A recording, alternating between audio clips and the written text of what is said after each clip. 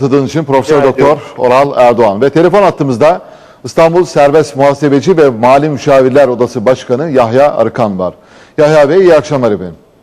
İyi akşamlar, iyi yayınlar diliyorum efendim. Çok teşekkürler katıldığınız için. Şimdi meselenin bir başka boyutu var. O boyutu ile soracağım sorumu. Ali Babacan biliyorsunuz bankaların işlem vergileriyle ilgili yakınmalar böyle çok ayyuka çıktığı zaman şunu demişti.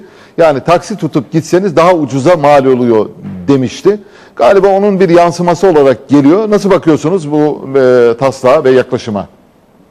Tabii ben e, olumlu bakıyorum açıkçası. E, çünkü buradaki atılan adım e, tüketici e, korumakla ilgili olan e, bir adım. Evet. E, ama umut ederim e, son dakikada çeşitli baskılarla e, geri adımlar atılmasın. E, aslında e, cesaretle üzerine gidilmiş olan bir konu.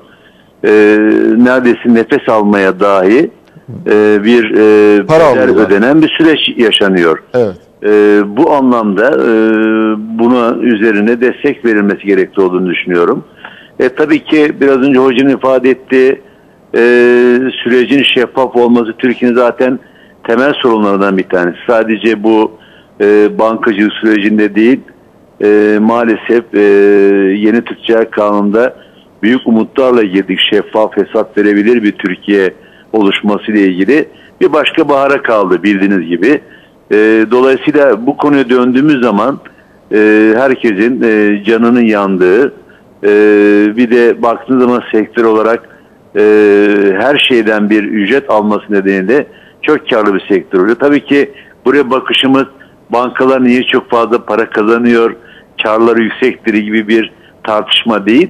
Önemli olan e, geniş toplumların e, artık elektronik ortamın e, herkese çok büyük avantajlar sağladığı bir dönemde e, bu tip ücretlerin alınmamasıdır.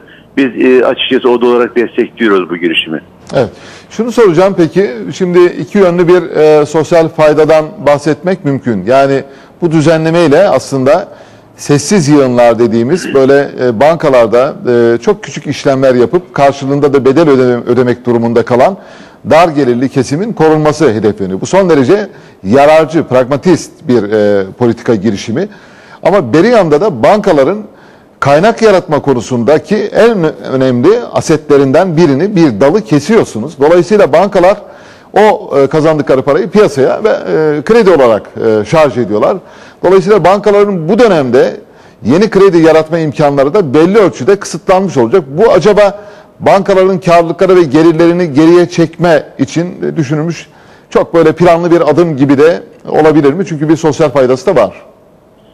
E, tabii burada e, böyle bir e, uygulama olduğu takdirde bankaların e, gelirlerinde bir azalma meydana gelecek. Yüzde 14,5 gibi bir oran.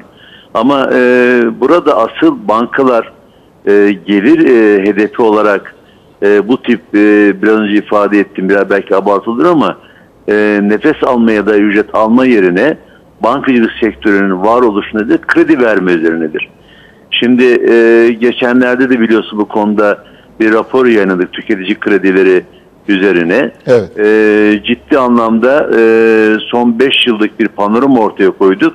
%205 oranında e, hem e, konut kredilerinde ortalama söylüyorum hem ihtiyaç kredilerinde ciddi artışlar meydana gelmiş. E, dolayısıyla e, bankacılığın asıl karlılıklı boyutu e, kredi e, boyutunda olması gerekiyor. Hem tüketiciler açısından verilen krediler makul seviyelerle geniş kesimlere ulaşması gerekiyor. Hem de asıl konu biraz e, istihdamda da yaşanan sorun olarak gördüğüm e, iş dünyasına kaynak olarak aktarılması gerekiyor. E, ve bunların yatırım yapmasına e, özellikle COBİ'lerin önünün açılmasına olanak sağlaması gerekiyor. Bu boyutta e, bankacılık asıl faaliyetlerini sürdürmesi gerekiyor ve gelir de elde edecekse buralardan elde etmesi gerekiyor ama bahsedilen e, son derece e, ben popülist de görmüyorum. Gayet gerçekçi bir yaklaşım. E, her e, işlemden dolayı e, bankacılığın e, yapması gereken işlemlerden dahi bir ücret alınmamasının desteklenmesi gerekli olduğunu inanıyorum.